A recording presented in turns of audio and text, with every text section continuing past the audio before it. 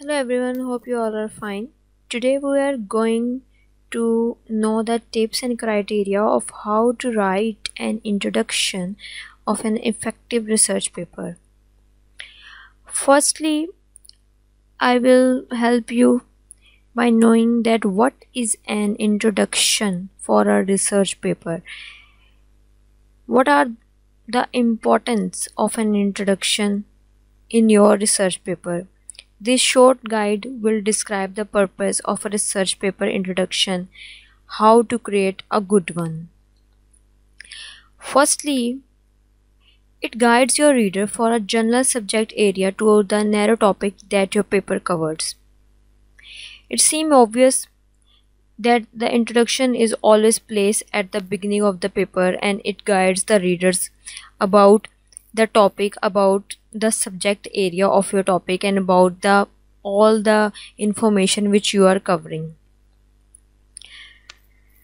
They also explain three points. Uh, first question which arise in your mind what information and introduction provide you? This question will appear in your mind. And then three points explain this. Or you can say they also explain your paper. One is scope of the topic scope of the topic describes the topic you are covering. What is the scope of that topic in this uh, i can say that in this uh, environment or in this field of study which you are taking or the which you have selected your topic? It will describe the scope of your work how important and how efficient topic you have selected for your research. Next point is background for your topic. Background for your topic is very important. It will show you or it will show the reader what the previous work and what the previous research researchers have done the work on your specific topic and on your field. And what are the flaws and drawbacks which you are going to cover in your study. So background is very important. You can also say the context of your paper or background of your topic. Third point is importance. You can say it importance why your research matter in the context of an industry or a world. Or you can say that value of a research in the context of the world. So this is the point that what information and introduction provide you. Okay? And you know that introduction covers a lot of area of your research paper but only it will appear uh, half of the page or few page longs. Only in a research article or in a research paper you can read you can write introduction half paper or a few pages long.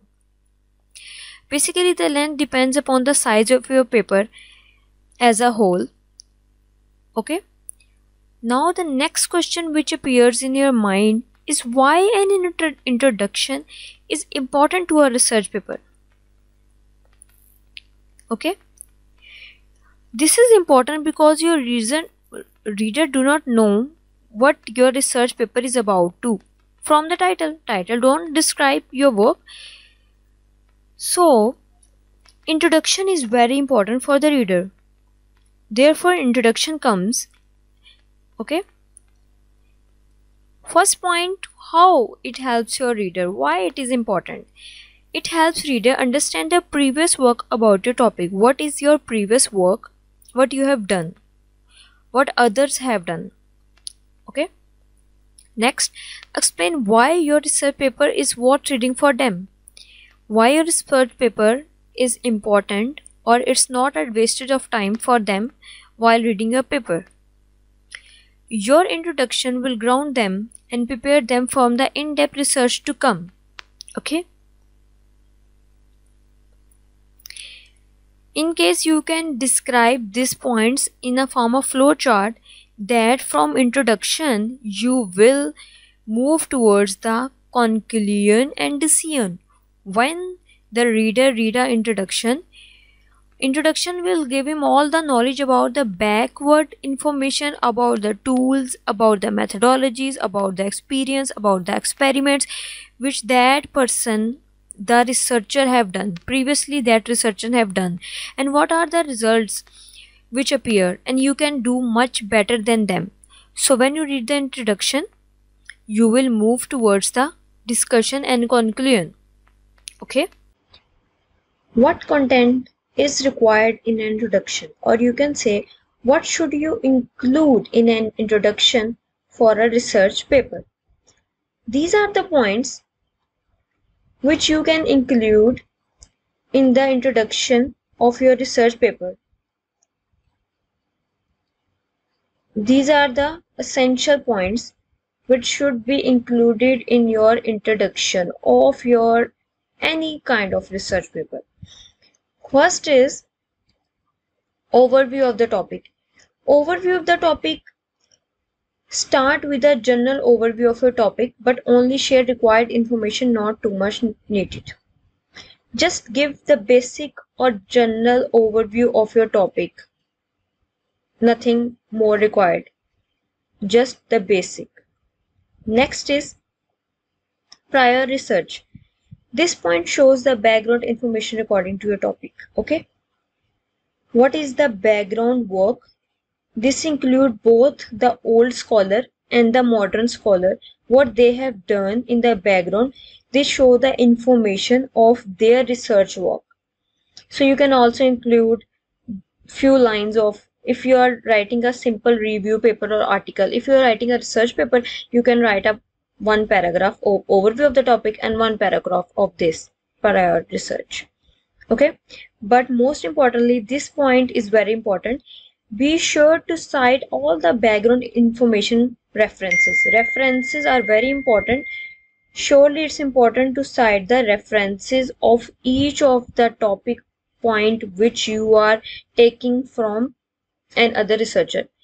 I know you are not copying their work, but you are taking an idea, so you should cite. Okay. Then the next point is a rational for your paper.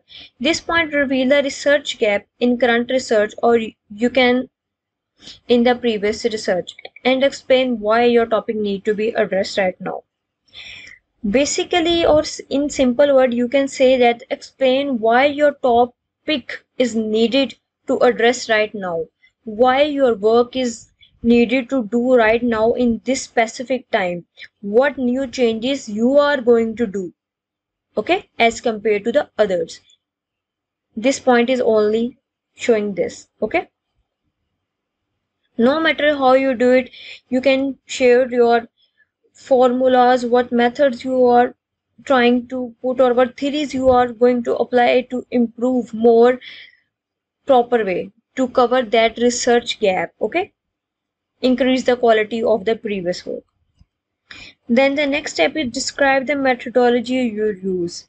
In this point, or you can say this point reveal your purpose of conducting research and describe how you analyze, evaluate and measure result. Explain your key choices. In short or in simple words, this point show that what now you have done, what results you have calculated, what what better you have done or what better betterment you have done in that previous work. Okay? Describe how you measure your results. Okay? Uh, how you achieve your goal. And questions the answers which are putting the question mark in the previous work. Now you have give their answers. So this point only describe this now the last point is an outline to a research paper Introduction often conclude with an outline. Basically, outline is a roadmap that take your reader to the end of your paper. Your describe your whole journey to your reader. So outline is very important, but it basically or mostly you can say it depends upon that field of your paper. For example, a physics research paper or any scientific kind of research paper might emphasize methodology, but any English journal research paper or any conference English research paper or any literature journal article might highlight the overview. So overview is important but in some fields. So this is the last point. uh, and as you can see we have covered three points basically what is an introduction for a research paper. Importance of introduction. Why is an introduction is important to a research paper? And what content is required in an introduction? If you key point or follow these three main highlighted points in your mind while doing your research or while writing your introduction it will be very easy and very helpful for you to reach your goal. Till then take care and inshallah we will meet in my next video. If you want any kind of information regarding to research work research paper do contact me and do subscribe my channel and do take care of yourself and do more research and more work. Till then allah hafiz